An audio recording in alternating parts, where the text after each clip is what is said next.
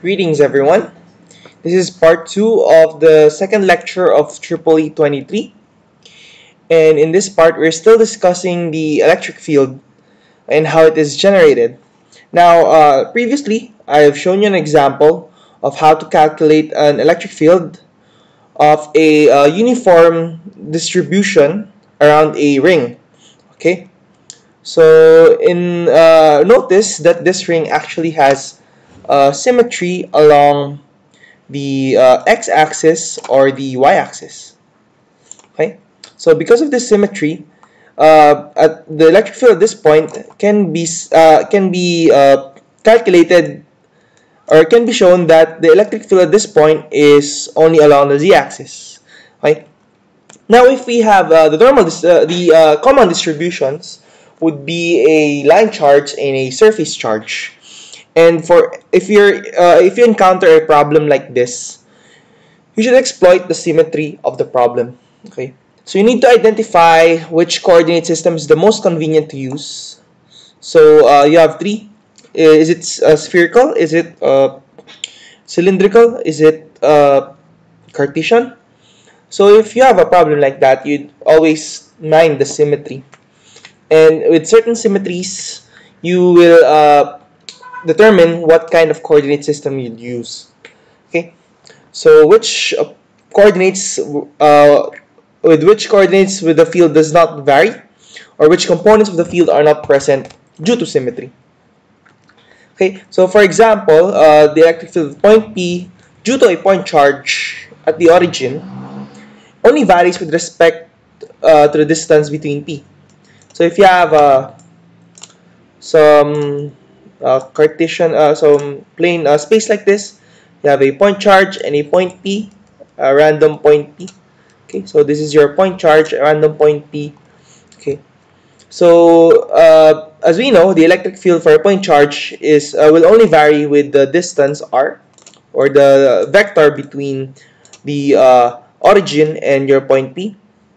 Okay, and this r is actually uh, or actually defines the direction of the electric field because the direction of the electric field is along AR hat. Okay? So by symmetry, uh, movement along A hat and A theta hat, uh, eh, there, uh, the field does not vary moving along these two uh, unit vectors. Okay, so this is what we call a radial symmetry. So to compute the electric field, you uh, these are the steps you need to follow. So recall that this is the uh, wait sorry this should be this should be differential. Okay, small electric field. Okay, due to the uh, existence of a infinitesimal charge. Okay. So the first step is you find a generic point xyz where you want to evaluate the electric field. Okay, so normally we just use XYZ. So the coordinates of the generic point charge, so you, where is the point charge located? Call it Q. At some points, X prime, Y prime, and Z prime. Divide the charge into infinitesimal points. That's why it's dq. Okay. So it could be a volumetric charge distribution, surface charge distribution, or line charge distribution and find the distance from uh, Q and P. The distance is the norm of this vector, right? Vector P minus the vector Q. The unit vector is just uh, the vector divided by the norm, so that's by definition. And just need to set up the integral to uh, get the contributions of each infinitesimal charge. Okay, so let's look at the electric field due to a line charge. So consider an infinitely long line charge If we consider the symmetry of the uh, line charge, so it has uh, it, it's a distribution. The electric field is uh, the electric field due to this infinitesimal charge and due to this infinitesimal charge oppose each other in some directions. Okay, and if you sum or if you take the sum of these differential electric fields, you get a total electric field that is only uh, that is only uh, you call this? It is only dependent with rho. Okay? or this only in the direction of a rho. Okay, so how did that happen? So it's only in the direction of a rho because of uh, the symmetry of this line charge. So if we maintain rho and z constant and we vary uh, the angle, okay, so if uh, we look at it here at a different angle, the same effects will have uh, will uh, the same effect will uh, happen as here to here. Okay, so some components of the electric field will be cancelled and what will be left is your a rho hat. Okay, so that's what we call azimuthal symmetry. And if we maintain the angle and uh, phi constant, if we vary the point along z, let's say somewhere here, okay, it will not affect the problem also. Because if you have a charge here that is uh, acting, uh, that's uh, giving an electric field on this point, there's also some mirroring charge here, since this is an infinitely long uniform line charge, that counteracts the electric field at this point. And again, the comp some components cancel out and you'll just get a rho hat here. Okay. So now we try to solve the electric field at a generic point P with uh, that is defined by x, y, and z. Okay. Or this P is since we're using a cylindrical coordinate system, this P is defined by some rho, phi, and z. Okay? So, there you go. The distance vector of R then is from the origin to the point of interest, which is some point rho phi z. This vector from the origin is rho a rho hat. Okay, so why is that? By definition, your rho is uh, the distance from your uh, z-axis to the point. Okay, so that's rho a rho hat. And since it's from the origin, there's no z component.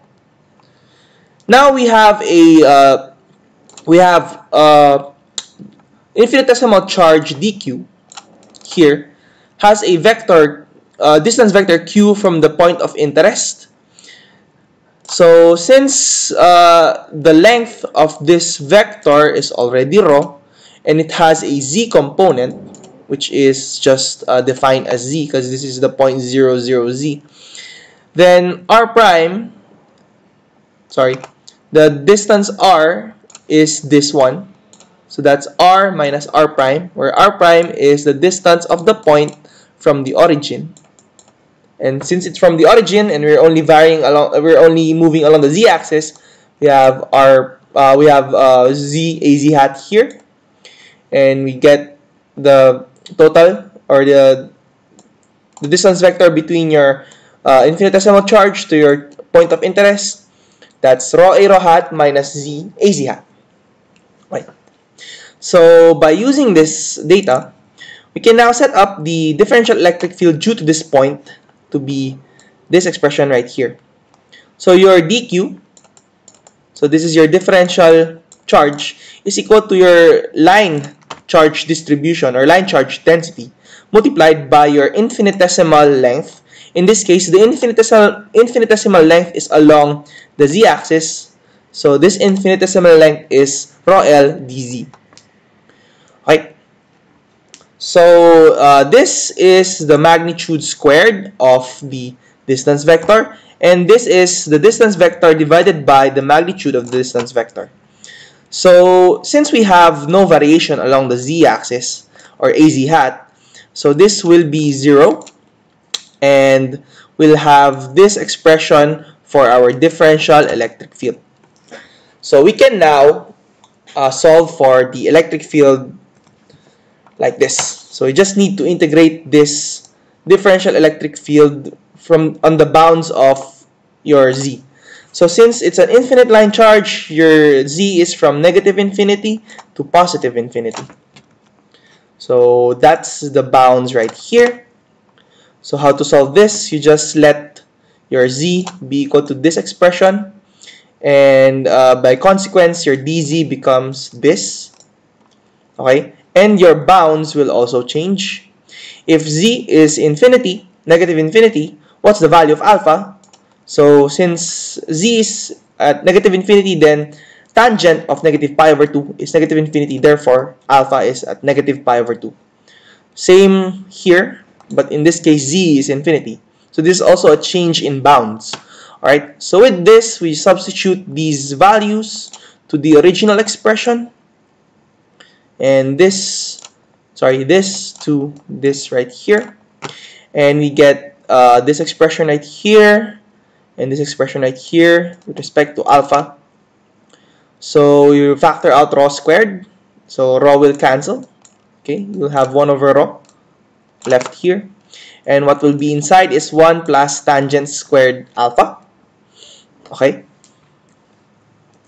Tangent squared alpha. And then, okay. And then, uh, since 1 plus tangent squared alpha is second squared, uh, second squared alpha raised to the 3 halves, you'll have a second cube alpha here. So this will just cancel with each other. You have a second alpha left at the uh, denominator and that is equal to cosine alpha so just integrate this from this uh, on this uh, uh, interval, okay, and you'll get uh, this sine alpha. Evaluate it, you'll, you'll get two.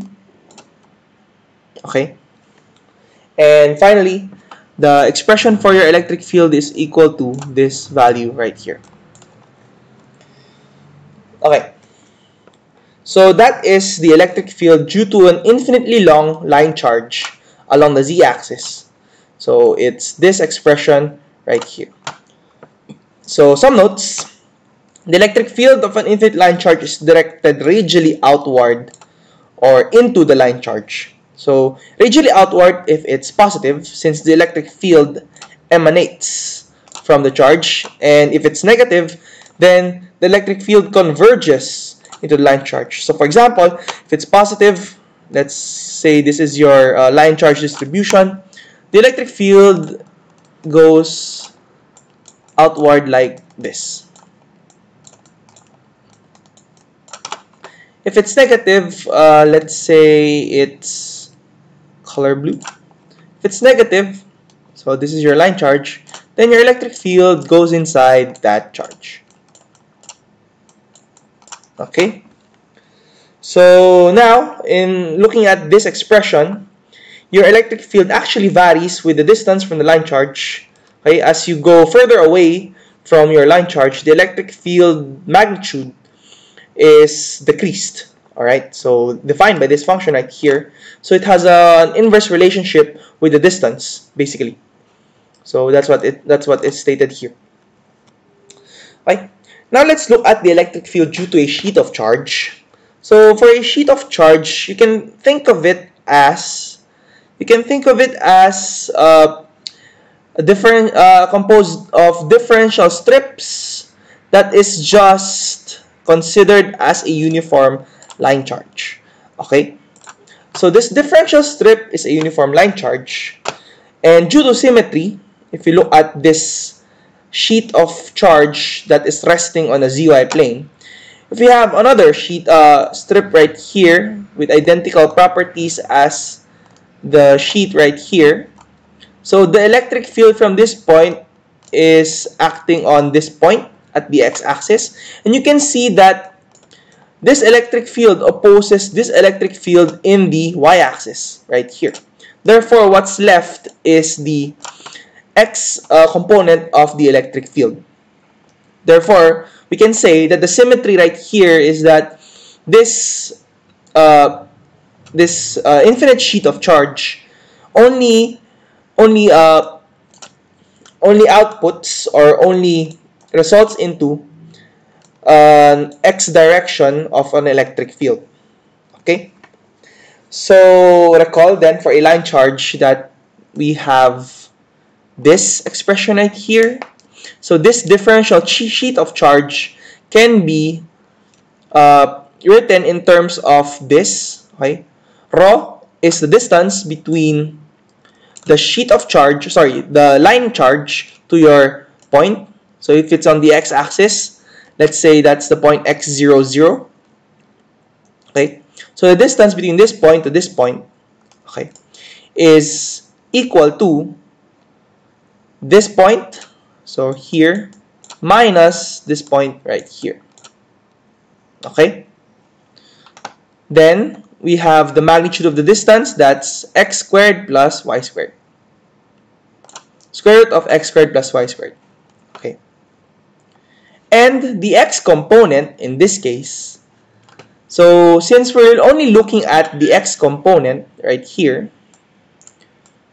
since again, by symmetry, the y component is cancelled, so we're left with the x component, we're then projecting this distance into the x-axis or the x direction. Okay, so we're projecting this distance in the x direction. What would be the value of that? So recall, if we're trying to project this vector into the x-axis, we're getting the dot product of this vector with respect to ax hat.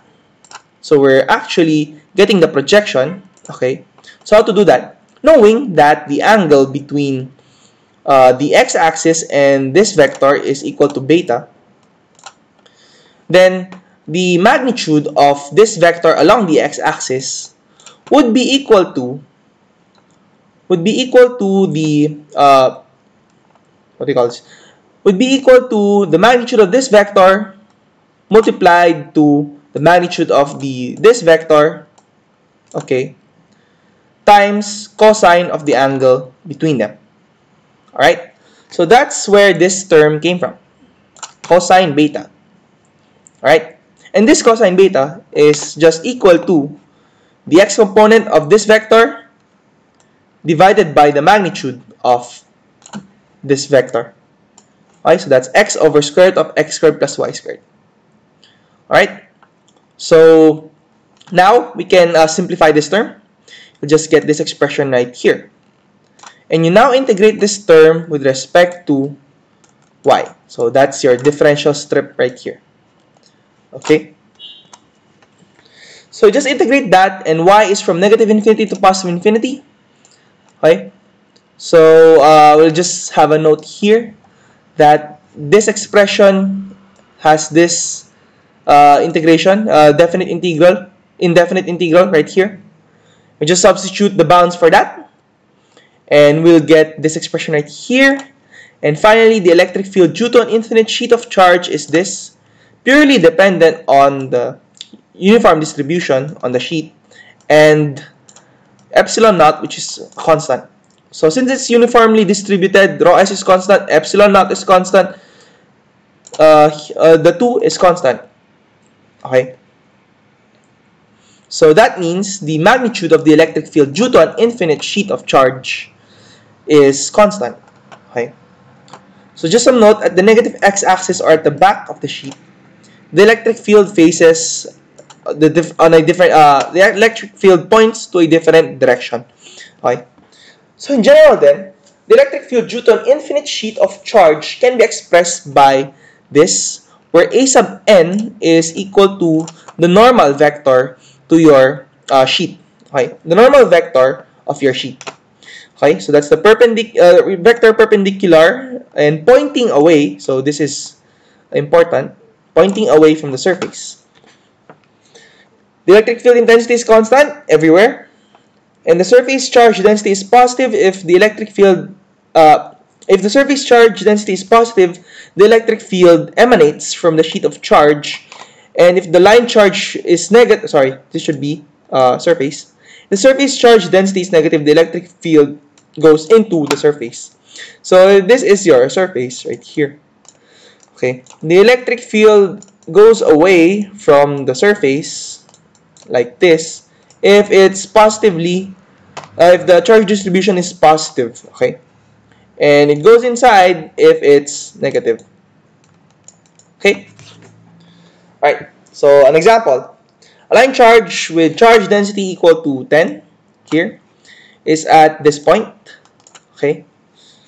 So this point on the uh, on the zx plane. A sheet of charge with surface charge density equal to negative 1 is resting on the xy plane, right here.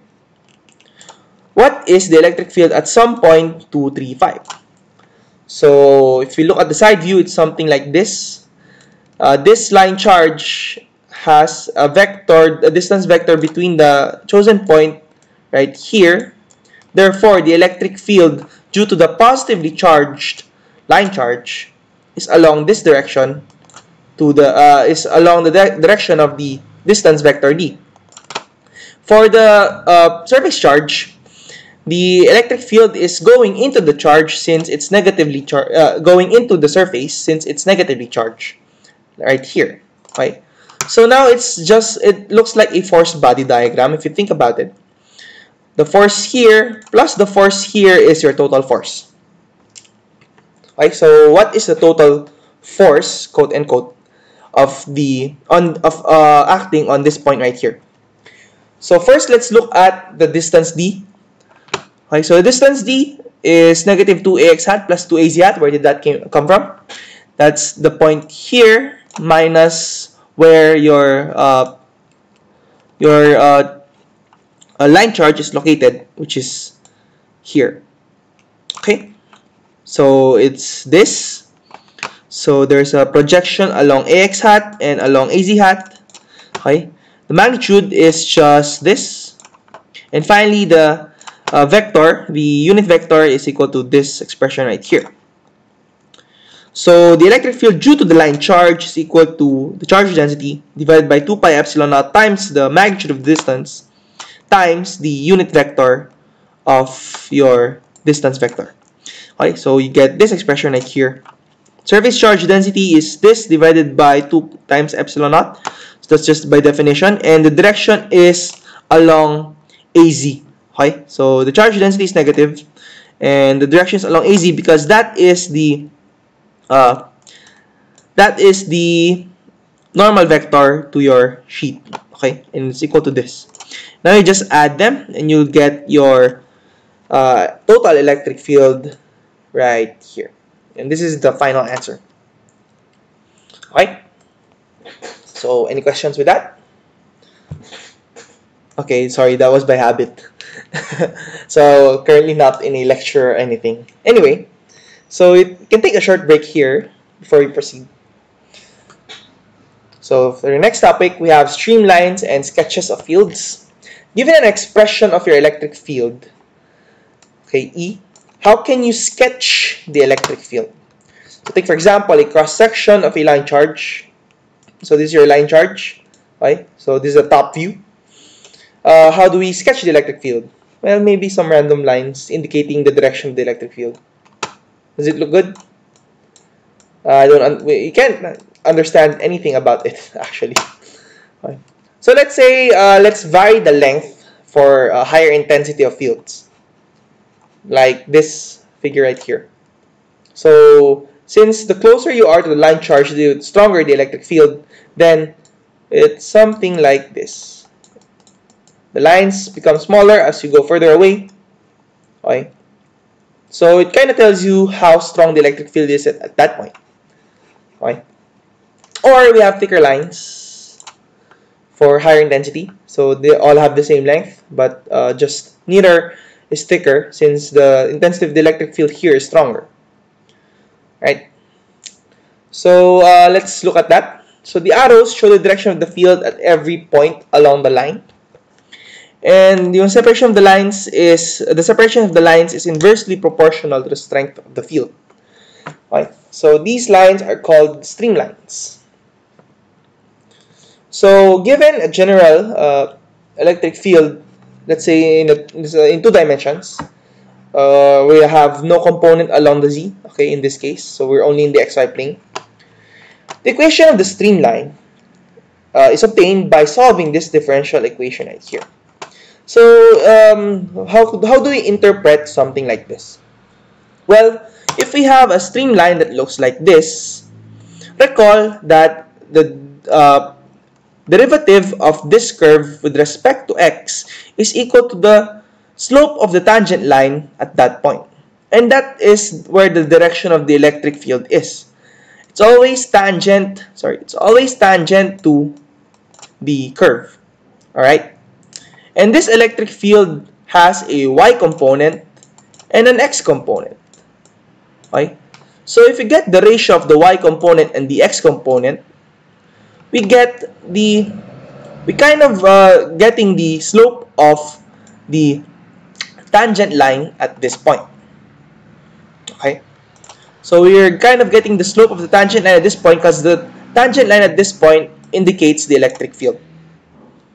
So if you get the magnitude of your y component divided by the x component, like this, it's the same as getting the slope of the curve at that point. So that is where this equation of the streamline came from. Okay? So, for example, we have the electric field here, given by this equation. Find equation of the streamline passing through the point P defined by your uh, Cartesian coordinates. So that's just a differential equation, ey over ex. So the differential equation dy over dx equals the y component divided by the x component, like this. And you just simplify that, this is cancelled. This is equal to negative cotangent 2y. Now, to solve this differential equation, you just need to separate the uh, two equations or sorry, the two variables. In this case, it's dy divided by negative cotangent y, 2y, and dx is transferred here. And that's what happened here, all right? And uh, this tangent 2y is equal to 1 over cotangent 2y. So, next is you just integrate both sides. You get x is equal to, integrate the y component, you get this. Okay, so this is a constant. If you transpose it, let's just rename it as C, plus, C prime. It's still a constant. Okay. And we multiplied by 2. It's still a constant. Okay. And next is uh, we get the uh, expo uh, natural exponent of both sides. Okay. And we chose to uh, let go of this C prime, make it K. So it became K because this K is equal to e to the C prime. Okay. So now the equation for your streamlines is this. ke raised to 2x equals cosine of 2y. Okay. So for next is we need to get the value of this k right here. So the value of that k is dependent on the point P. So you just need to substitute that point. So that's x equals 0.5, y equals pi over uh, 10. And substitute that. solve for k, you get k is equal to 0.298 and finally, just substitute that to your original streamline equation like this here, and you'll get this expression for the streamline. So this is the equation of the streamline passing through the point P. Right. So the streamline, what you saw right here, is actually a family of curves, right, where the value of k is dependent on the point where it passes through. Okay? So that's the ex an example of your streamlines. Okay, so that's for your Cartesian coordinates.